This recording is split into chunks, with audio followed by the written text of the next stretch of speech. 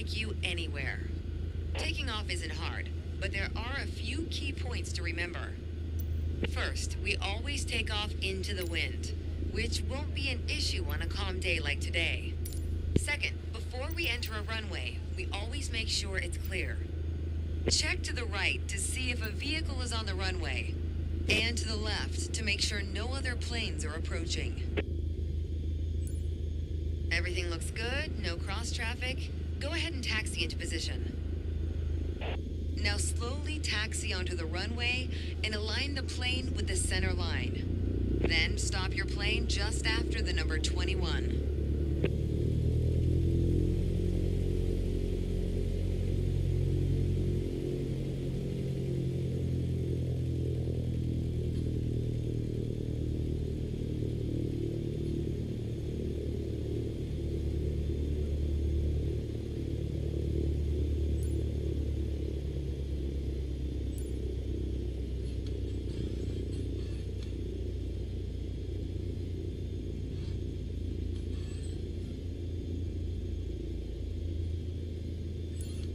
Keep working on it. You'll get better. All right, let's do this. Apply full power and I'll walk you through the takeoff as we go.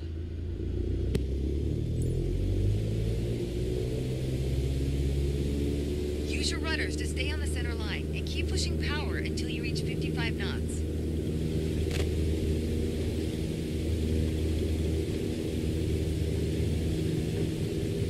Good. Now gently pull back on the yoke.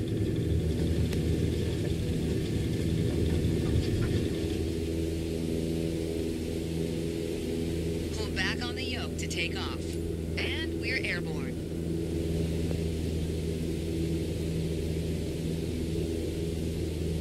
Line up the top of your instrument panel so it's a couple of inches above the horizon. That'll pitch us up and set a good climb attitude. Focus on flying straight. Use your rudders to keep the runway heading of 210 degrees. Maintain 75 knots, and we'll reach our target altitude of 5,500 feet in no time.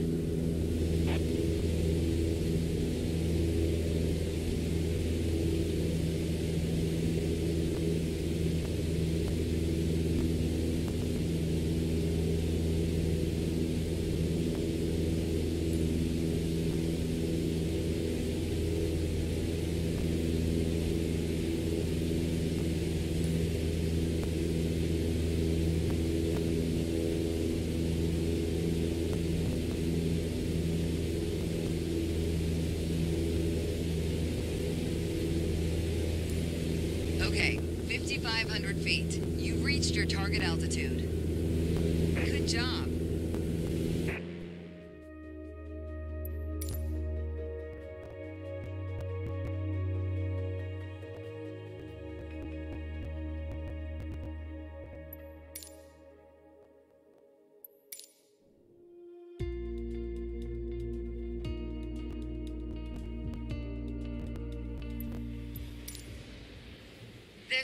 Saying I like. A mile of road will take you a mile. A mile of runway will take you anywhere. Taking off isn't hard, but there are a few key points to remember. First, we always take off into the wind, which won't be an issue on a calm day like today.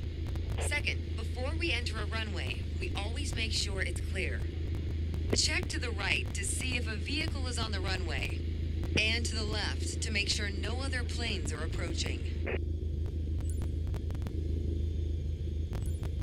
Everything looks good, no cross traffic. Go ahead and taxi into position. Now slowly taxi onto the runway and align the plane with. All right, let's do this. Apply full power and I'll walk you through the takeoff as we go.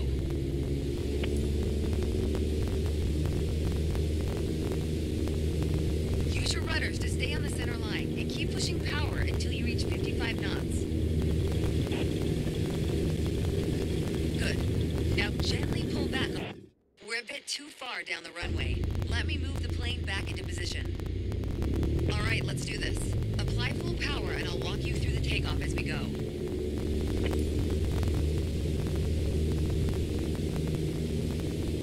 Use your rudders to stay on the center line and keep pushing power until you reach 55 knots.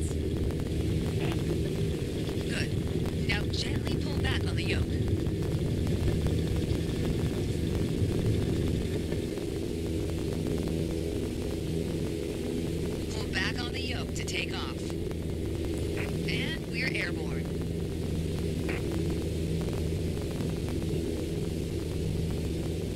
Line up the top of your instrument panel so it's a couple of inches above the horizon. That'll pitch us up and set a good climb attitude. Focus on flying straight. Use your rudders to keep the runway heading of 210 degrees. Maintain 75 knots, and we'll reach our target altitude of 5,500 feet in no time.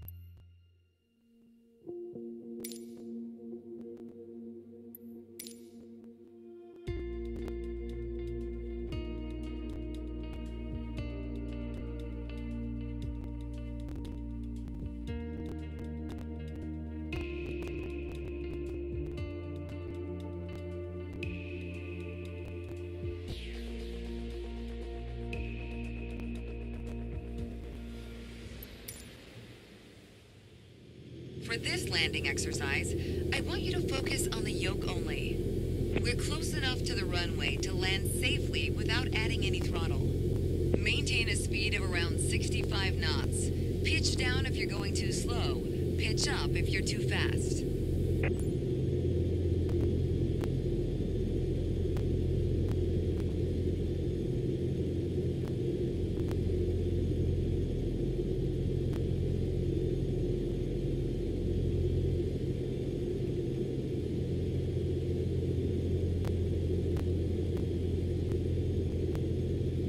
Keep your airspeed at 65 knots. When you're 10 feet above the runway, it's time to flare.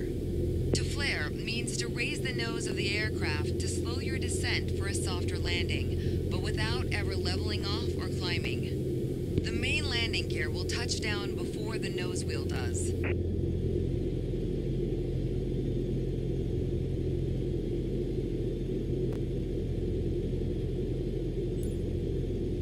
We're coming up flare height. Resist the temptation to pull back.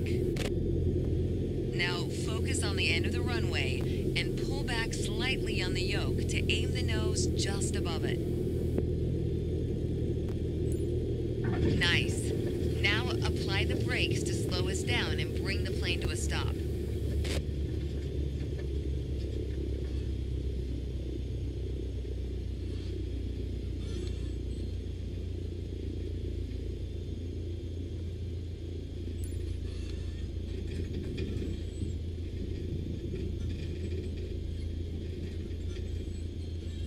Well done, but there's room for improvement.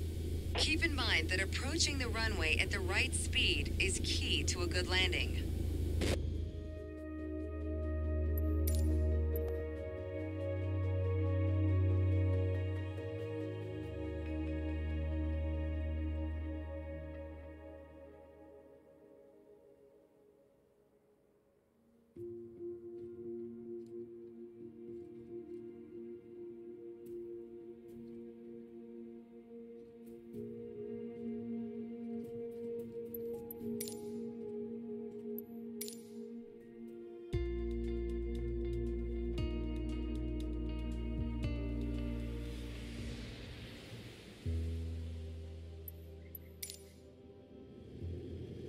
For this landing exercise, I want you to focus on the yoke only. We're close enough to the runway to land safely without adding any throttle. Maintain a speed of around 65 knots. Pitch down if you're going too slow. Pitch up if you're too fast.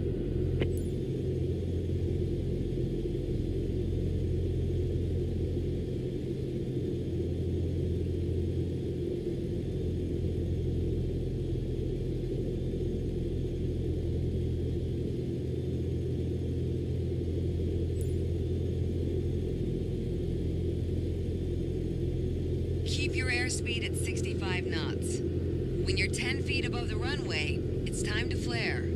To flare means to raise the nose of the aircraft to slow your descent for a softer landing, but without ever leveling off or climbing. The main landing gear will touch down before the nose wheel does.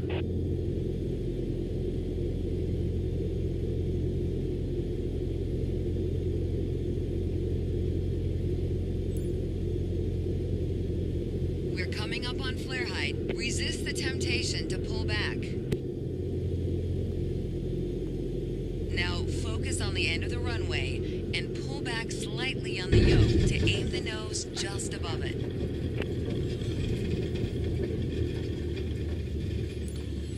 Nice. Now apply the brakes to slow us down and bring the plane to a stop.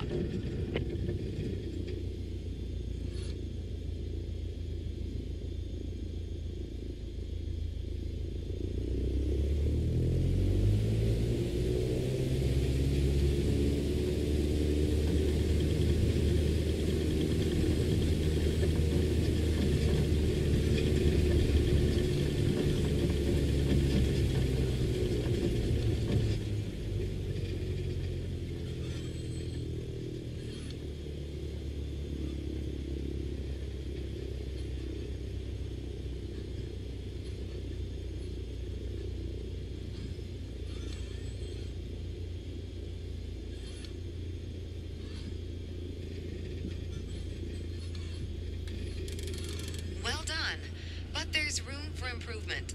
Keep in mind that approaching the runway at the right speed is key to a good landing.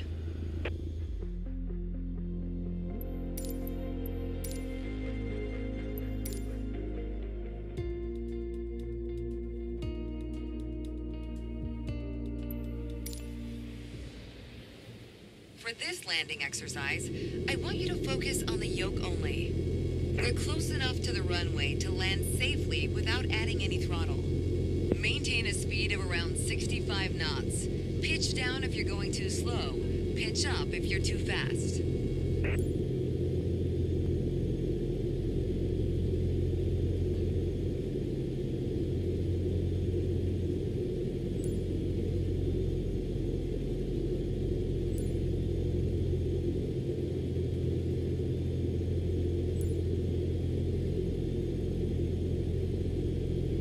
Keep airspeed at 65 knots. When you're 10 feet above the runway, it's time to flare. To flare means to raise the nose of the aircraft to slow your descent for a softer landing, but without ever leveling off or climbing. The main landing gear will touch down before the nose wheel does.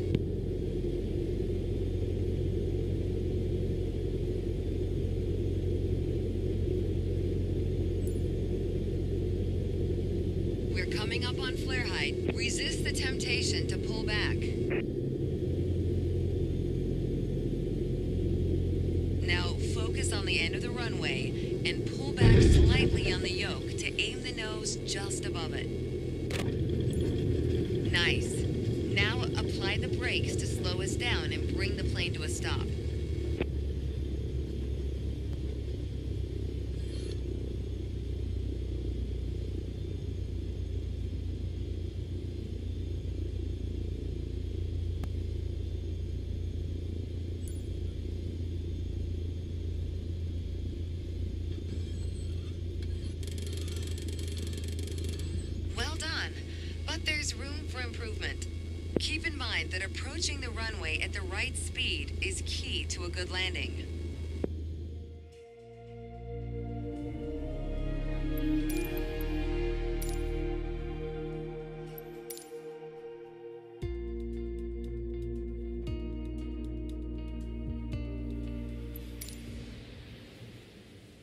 For this landing exercise, I want you to focus on the yoke only. We're close enough to the runway to land safely without adding any throttle. Maintain a speed of around 65 knots. Pitch down if you're going too slow. Pitch up if you're too fast.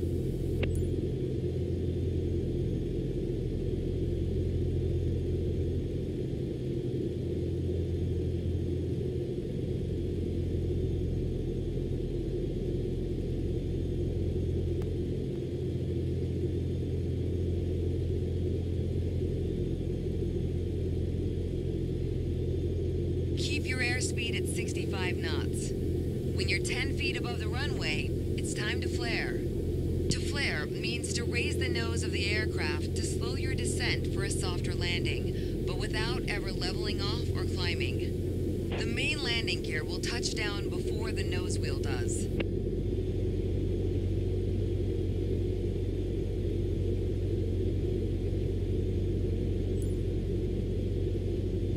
We're coming up on flare height. Resist the temptation to pull back. Now focus on the end of the runway and pull back slightly on the yoke to aim the nose just above it. Nice. Now apply the brakes to slow us down and bring the plane to a stop.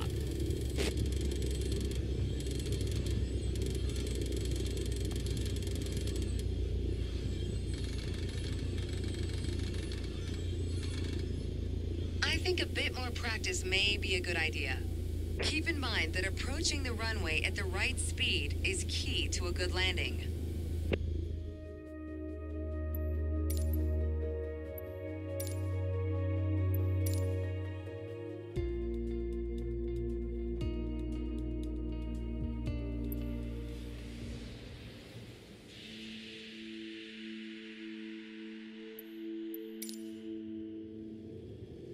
For this landing exercise, I want you to focus on the yoke only. We're close enough to the runway to land safely without adding any throttle. Maintain a speed of around 65 knots.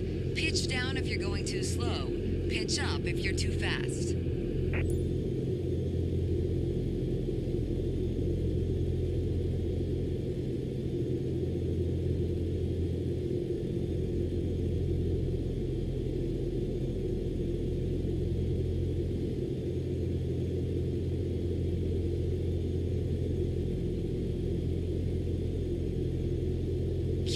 Your at 65 knots. When you're 10 feet above the runway, it's time to flare. To flare means to raise the nose of the aircraft to slow your descent for a softer landing, but without ever leveling off or climbing. The main landing gear will touch down before the nose wheel does.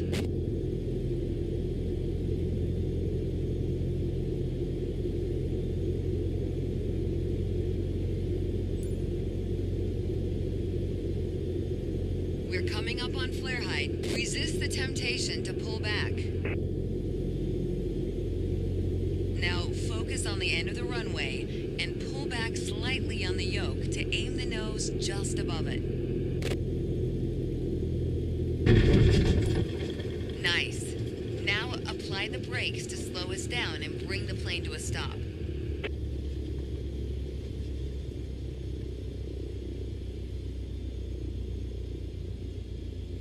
I think a bit more practice may be a good idea. Keep in mind that approaching the runway at the right speed is key to a good landing.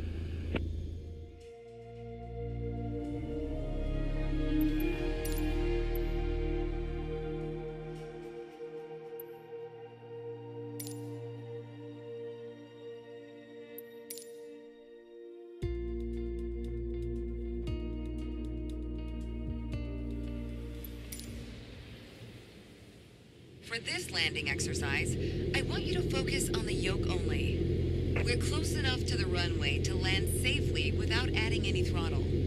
Maintain a speed of around 65 knots. Pitch down if you're going too slow. Pitch up if you're too fast.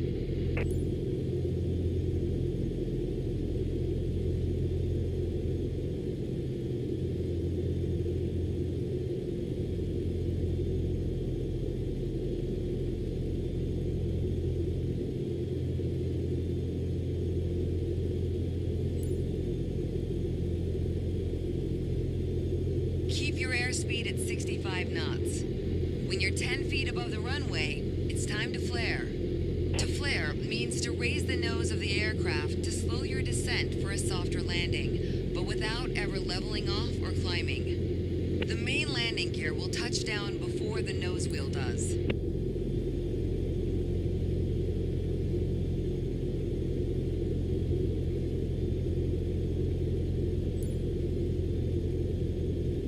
We're coming up on flare height. To pull back. Now focus on the end of the runway and pull back slightly on the yoke to aim the nose just above it. Nice. Now apply the brakes to slow us down and bring the plane to a stop.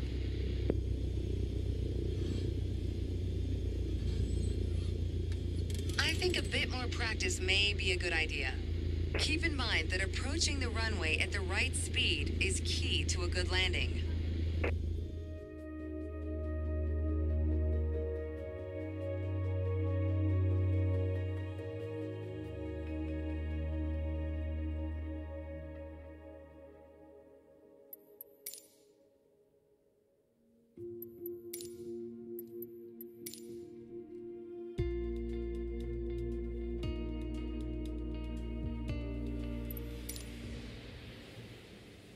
For this landing exercise, I want you to focus on the yoke only. We're close enough to the runway to land safely without adding any throttle. Maintain a speed of around 65 knots. Pitch down if you're going too slow. Pitch up if you're too fast.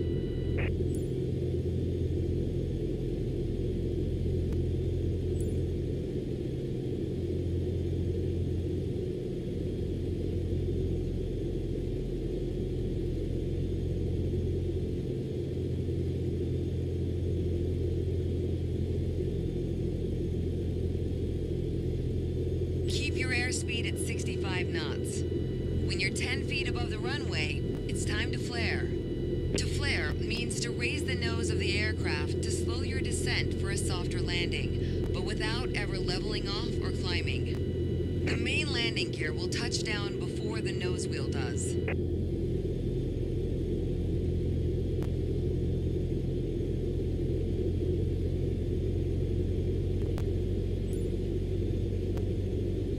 We're coming up on flare height. Resist the temptation to pull back. Now focus on the end of the runway and pull back slightly on the yoke to aim the nose just above it. Nice. Now apply the brakes to slow us down and bring the plane to a stop.